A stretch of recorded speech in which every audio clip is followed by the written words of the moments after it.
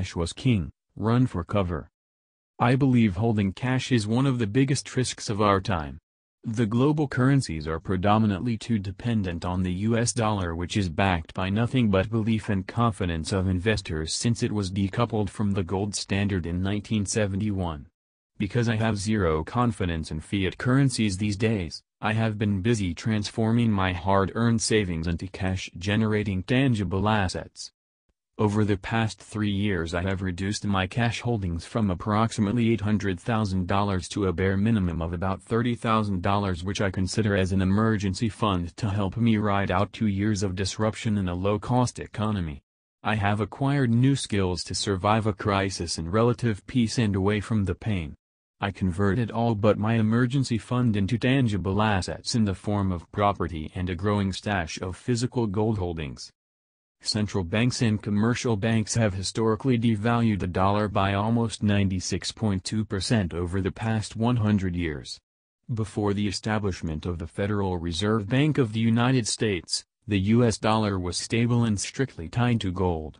Since 1913 the Federal Reserve increased the dollar supply by a staggering 1,900 times and consequently created inflation, devaluation of the purchasing power of the dollar, Today 68% of U.S. citizens have less than $1,000 in savings and 78% live paycheck to paycheck, accepting whatever interest rate is dictated by the Federal Reserve, the world's largest central bank. Business leverage and consumer leverage, debt, is at the highest it has ever been while growth of these enormous piles of debt has exploded since the last financial crisis. China and Japan have both over $1 trillion in U.S. Treasury bonds respectively counting on the fact that the Fed will pay back the interest but not necessarily the principal, ever. Meanwhile 20% of children in the U.S. live below the poverty line, and a larger part just barely over the poverty line, defined as less than 50% of the median household income. Real wages have been stagnant for decades while inflation caused by multiple rounds of quantitative easing has reduced living standards for many households in the West. Over the past years cryptocurrencies have made first inroads towards replacing the dollar as the world's reserve currency but failed. Having said that I don't believe this will be the case next time round but personally for me, I am not willing to invest just yet in this new technology as a dominant and at the same time viable one has not been identified yet. The International Monetary Fund has been pushing for its very own SDR, special drawing right, currency comprised of a basket of US dollars, euros, pound sterling, and Japanese yen while the Chinese RMB is gaining in global importance with each day and international investment. The dollar as the reserve currency is being attacked from all directions and someday it will fall eventually. Today the U.S. government is in almost $22 trillion debt, growing at a faster pace than ever. Whenever countries over-leveraged themselves they destroyed the currency in the past. This is how the mighty Roman Empire fell but more recent examples are Venezuela, Turkey, or Argentina. Whilst maybe not completely destroyed, we have seen significant value erosion through a devaluation caused by hyperinflation in Germany, England, China, France, Hungary, Zimbabwe, and many more. The current budgeted interest only on the U.S. government debt is about $365 billion a year or some 8% of the federal budget annually with projections to reach 12.5%, almost $800 billion, of the federal budget by the mid-2020s. Obviously this is not sustainable long-term and the current sitting U.S. president just cut taxes and increased federal spending to a new high at over 1 trillion USD in growth effectively doing the opposite to relieve the aching fiscal situation and in my view only pushing out the inevitable steep plunge of the U.S. economy into one of the worst recessions in modern history.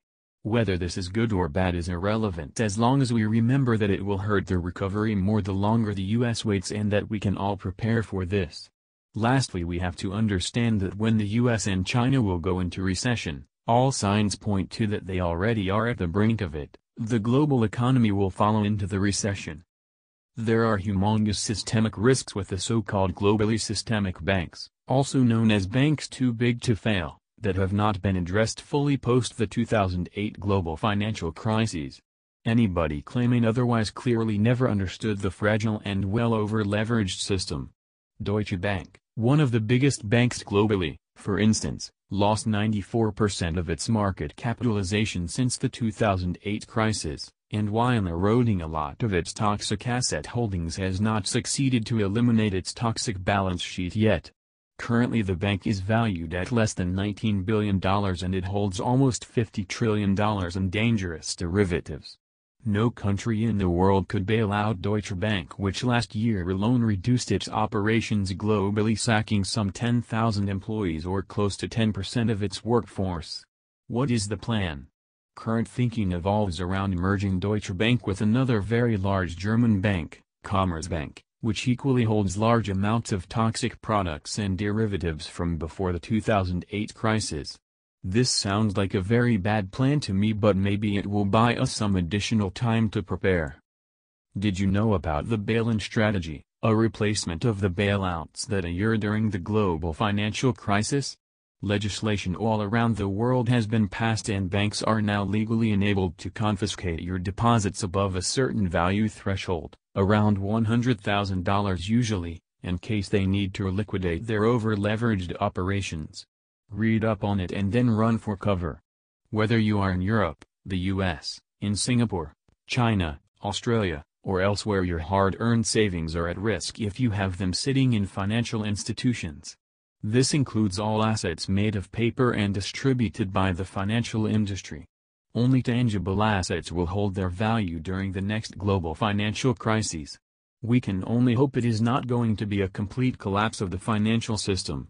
Judging by the demonstrated greed and dishonesty of the financial sector I rather prepare for the worst and hope for the best. So I ask you, how much confidence do you have in the systemically important banks and the US dollar today? In what ways are you protecting your assets? How long do you think the dollar will stay the world's reserve currency? For freedom and to live your dreams. Your financial gladiator.